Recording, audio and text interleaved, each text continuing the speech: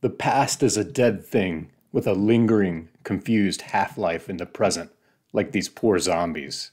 The future ends catastrophically, and what's supposed to be in the middle probably doesn't even exist. Time. Only a real terrorist in town.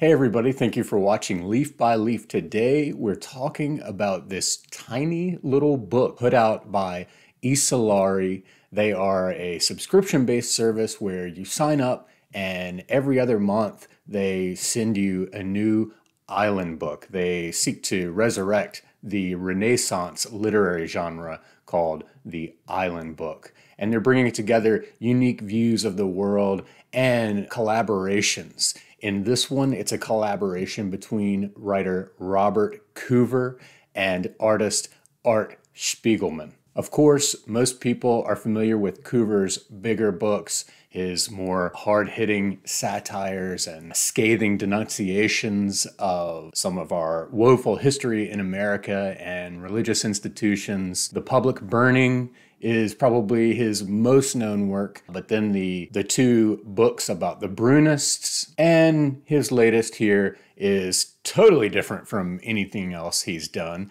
We have a short, tiny, tiny little satire that puts an everyman who goes from being a derelict to a street cop in the not so distant future. I find it interesting that during the lockdown, both Rikki Ducornet and Robert Coover have come out with these little sci-fi bent books. The drawings by Art Spiegelman are a treat. They match the story perfectly. They're the exact type of illustrations. Very cartoonish, very playful. And I will say that my writing project that I'm working on for this year that I said I'd give more information about as the details of the forthcoming book start to materialize.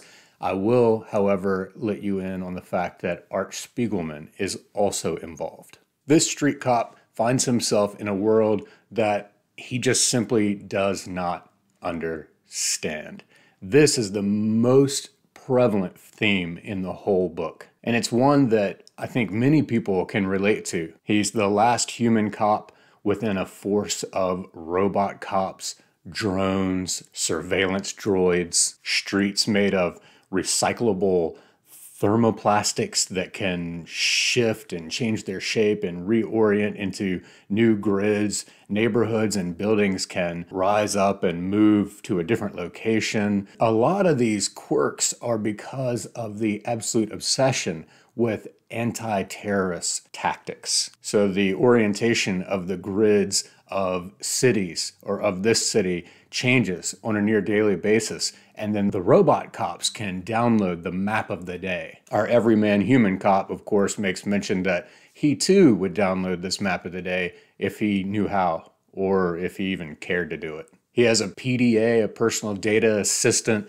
named Electra that is very much like Alexa or Siri. There are delivery drones zipping around everywhere, and kids chase after them with butterfly nets and try to capture them. There are predictive crime databases. You can even own your own pet zombie. There's even a direct link with a supplier of human remains so that you can keep your pet zombie fed these human remains come from the city, from unclaimed corpses. So, you know, he's having fun with imagining the world that is to come, and it's not so far off from the world we know today, and especially, you know, raised a pitch or two by satire. I like some of the terms that Coover comes up with for performance metrics. He calls them daily media judgments, which I think is much closer to the truth of now and how we evaluate one another. The tone and style, the voice of this work is very much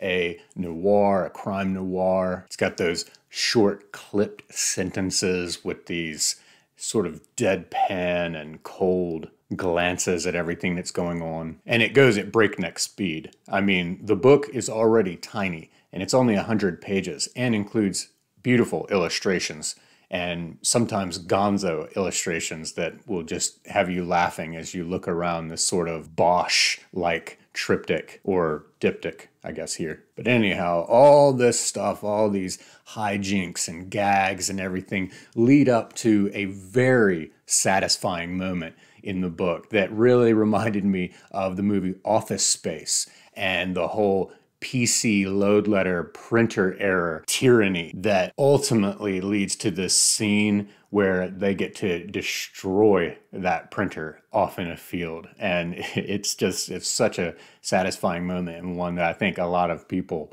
will enjoy living vicariously through Coover's character. It's a fun story from Coover.